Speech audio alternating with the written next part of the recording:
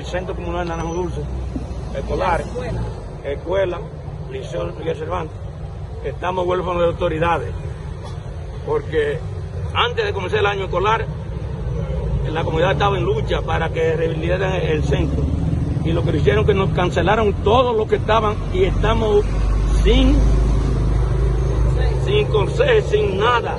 Entonces, con el protocolo que hay, ahora que no se puede iniciar el año escolar porque los niños, nadie va a mandar a sus niños aquí donde no hay limpieza. Hace, hace ya una semana que las clases iniciaron, en nuestro centro no se ha podido comenzar porque en nuestro centro no hay conserje, no hay un portero, no hay un sereno, falta personal administrativo.